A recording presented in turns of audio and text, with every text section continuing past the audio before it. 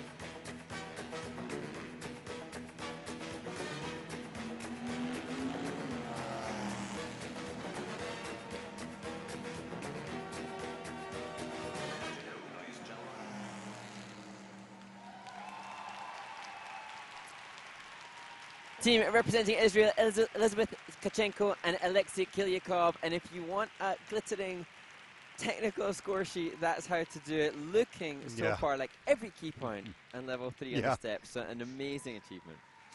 I was about to say, Mark, are you looking at what I'm looking at? Because I see eight Ys on the screen. That's Yeah. incredible. I haven't seen that all season, and uh, Nope. yeah, we'll see if that holds because one of them is under review. We'll take, we'll find that out in just a few moments. But great performance, holy moly, really, really strong. As we see the, the father of Alexei, uh, the coach, Alexei Kiliakov Senior. What a great job.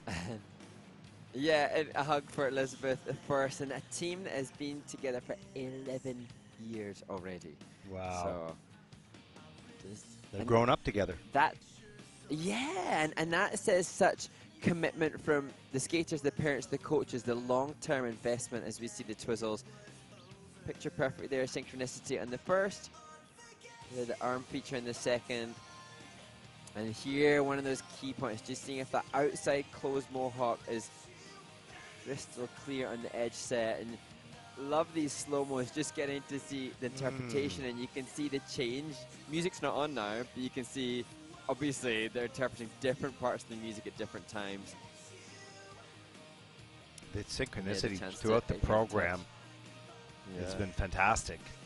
And the energy, and you look at the GOE scores, all of the pluses and high pluses, close to two in s- three of the elements. So they're going to have a pretty big score here, I think. W- Wow. The top yeah, and such such a good point there, Ted, because if you I've just now you've drawn my attention to that GOE score, both getting a level three in the midline. That's nearly Yep. ten points for that step sequence. That is hefty. Uh, it is. It's amazing. 67.38 top score. Not sure if they'll make that. Maybe it's going to be pretty close. But regardless, had a great program. And there's a great score. 66.70. And that'll put them currently into second place at this point of the competition. You can see that it is less than a point away from Neset and Makarov